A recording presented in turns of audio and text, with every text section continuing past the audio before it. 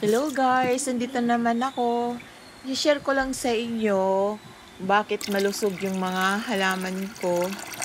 Tuwing nagsasayang ako, hindi ko tinatapon yung tubig. Tinatabi ko lang. Kunyari, magprito ka ng itlog, yan, ilagay mo yung itlog doon, ibabad mo na bago itapon.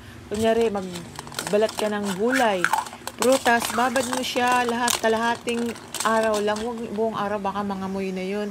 Mas maganda kasi yung pag tubig, tapos idilig mo sa laman, ina-absorb ng lupa yun. Kung kayo maglagay ng ano, balat ng prutas o gulay doon mismo sa ilalim ng halaman o sa lupa. Kasi matagal pa yun mabulok. Baka langawin lang eh. Imbis patabain natin yung mga halaman, madamage lang dahil sa mga insekto. Kaya huwag nyo itapon agad yung mga balat ng gulay at saka prutas, ibabad nyo lang kasi napapakinabangan nyo ng halaman. Ano nila yun eh, nutrients nila. Diba araw-araw natin sila dinidiligan ng tubig, kaya nawawas out yung vitamin ng lupa. Meron akong bagong alaga, bigay ni Kuya Rapi. Salamat. Yan o.